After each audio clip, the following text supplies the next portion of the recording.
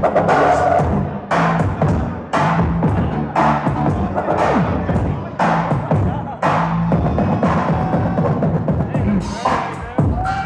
five minutes, and we can have our.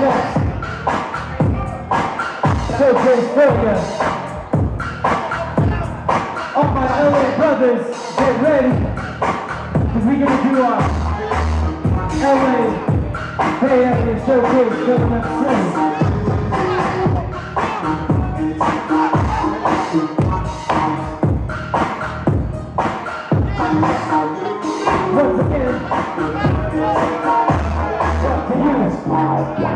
Right here in South State. Go